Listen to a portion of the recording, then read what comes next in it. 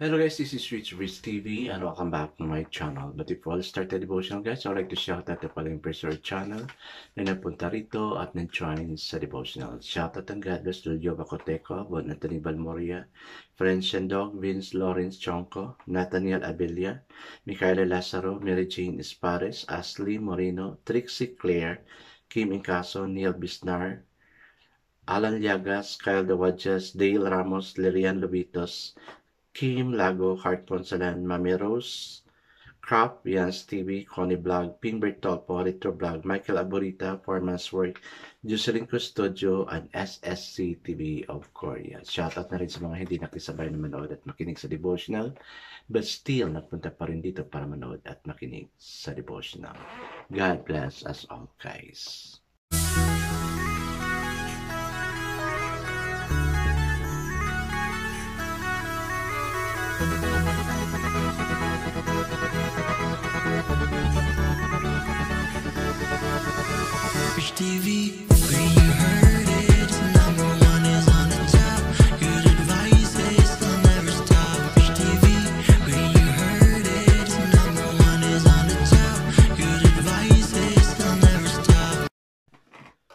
Praise God for this another day na natatapos na naman, no? And of course, still, I inviting you, no? Sa mga bagong pumupunta rito, lalo-lalo yung mga estudyante ko, sana regular kayo mapunta rito where you are still under me because I know you will really learn from this devotional. Lalo-lalo na if you have a problem, just consult me, go to my office, no? For counseling because I'm also a guidance counselor for so long, no? I know I could really help you. Okay, guys, let's now proceed to our devotional. Let's open our Bible to uh, Genesis chapter 23, from verses 1 to 16. This is about the death of Sarah. So, una pala namatay si Sarah kay, sa, kay Abraham. Ito yung asawa ni Sarah. And still, guys, I'm using the devotional study Bible because it's using to simplify the maintindihan talaga natin. Okay, the word of the Lord in Genesis chapter 23 verses 1 to 16 says, Sarah lived to be 127 years old. She died in Kiriath Arba.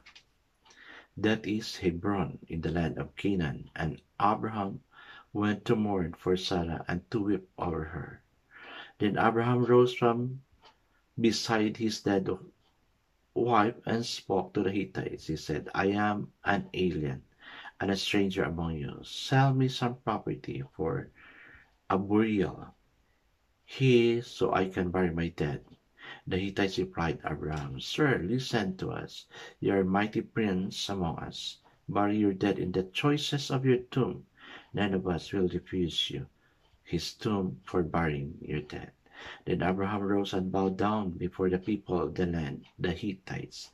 He said to them, If you are willing to let me bury my dead, then listen to me and intercede with Ephron, son of Zohar, on my behalf. So he will sell me the cave of Machpelah, which belonged to him and is at the end of the field. Ask him to sell it to me for the full price as a burial site among you. Ephron the Hittite was sitting among his people, and he replied to Abraham, in the hearing of all the Hittites who had come to the gate of his city. No, my lord, he said, listen to me. I give you the field, and I give you the cave that is in it. I give it to you in the presence of my people. Bury your dead.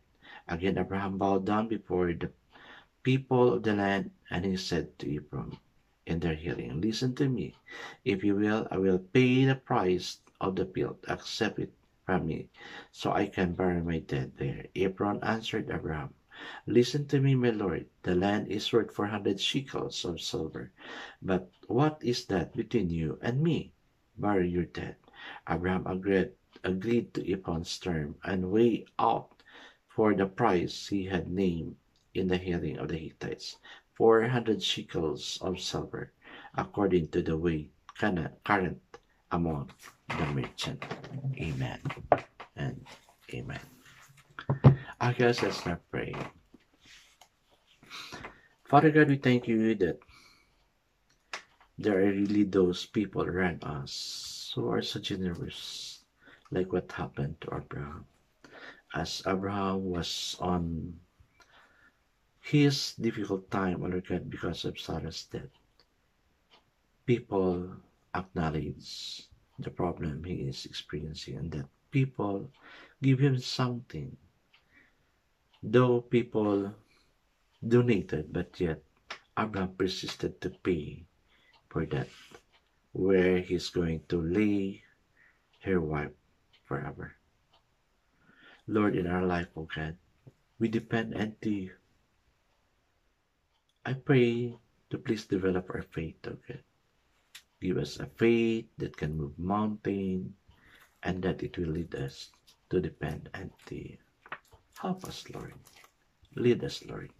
Guide us, Lord. Manifest in us. Bless each one nandito ngayon, O God. In Jesus' name pray. Amen and amen. The focus verse for this evening, guys, is found in Genesis 24, verse 12, and it says, Then he prayed, O Lord God of my master Abraham, give me success today and show kindness to my master Abraham. So the title of the devotion for this evening, guys, is Dependence on God. Isaac was the heir of God's covenant promise, the firstborn of God's chosen nation.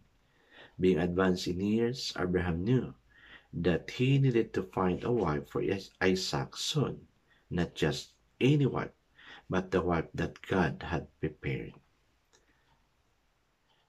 To fulfill his promise to Abraham, the prayerful and careful process of getting ay teka, ah, parang iba yun, no? Nabasa ko. 23 yun, di ba? Okay, iba pa rin nabasa ko. So, ulit tayo, ulit tayo guys, no? Uh, the focus version for this evening is found in Genesis 23 verse 3 to 4. And it says, Then Abraham rose from beside his dead wife and spoke to the Hittites. He said, I am the an alien and a stranger among you. Sell me some property for a burial. Site here so I can bury my dead. And that is in Genesis chapter 23, verse 3 and 4. So the title the devotion for this evening, guys, is Trusting in God's Promises. Abraham and Sarah both struggle in the journey of faith. But even as Abraham mourned and made arrangement for Sarah's burial, he expressed his active faith in God's promises. Even though he was living in the land God had covenanted to him, to his descendants, Abraham classified himself to the Hittite as an alien and stranger. He knew that God's gift of the land would be fulfilled beyond his lifetime. Abraham believed by faith that God had given him the land, but he did not demand or take the land by force from the Hittites. Abraham insisted on negotiating a fair price for the cave of Machpelah and the field and land of which it was located. Through this, Abraham staked his claim in the land that was his by God's promise. This was a measure of Abraham's faith in God. He believed in God's promise, even if he did not know how or when that promise was going to be accomplished. As you journey through life, your faith in God can sometimes come with string attached. Trusting God is easy when things are going well, but to trust God when it is costly to do is totally different. God, how is God using your life's journey to deepen your trust in Him? Yes, guys, on my part, yes, that's true. It it really has a string attached, and of course, no, mas maganda kasi yung uh, may faith ka without string attached. Parang yung nagbigay ka ba na no string attached na hindi mo na siya sisingilin. Bigay mo na yun. So, it's a totally bigay, no? Huwag ka nang sisingil pa. Huwag mo na siyang kwintahan pa kung ano yun nabigay mo.